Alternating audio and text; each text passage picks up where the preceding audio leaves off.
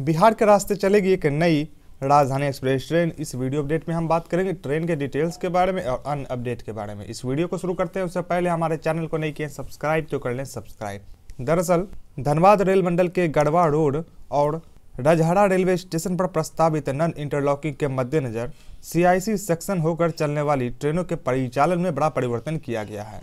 धनबाद होकर चलने वाली कई ट्रेन नए रूट होकर चलाई जा रही है। वहीं रांची से नई दिल्ली को जाने वाली राजधानी एक्सप्रेस ट्रेन, जिसका train number one two four five three है, यह ट्रेन भी नए रूट होकर चलेगी।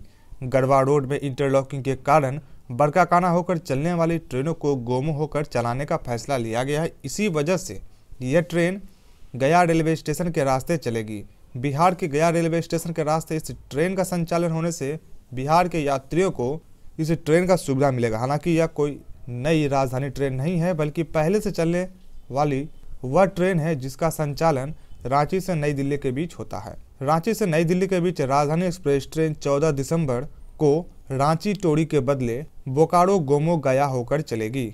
इसके अलावा वापसी दिशा में यह ट्रेन 10 दिसंबर 17 दिसंबर और 15 दिसंबर को दोनों ही दिशाओं में राजधानी को गोमो होकर ही चलाया जाएगा और रांची भेजा जाएगा इस रास्ते से। तो ऐसे में बिहार के उन यात्रियों को भी सुविधा मिलेगा जो लोग गया रेलवे स्टेशन के रास्ते रांची और नई दिल्ली के लिए वैकल्पिक ट्रेन की तलाश कर रहे थे।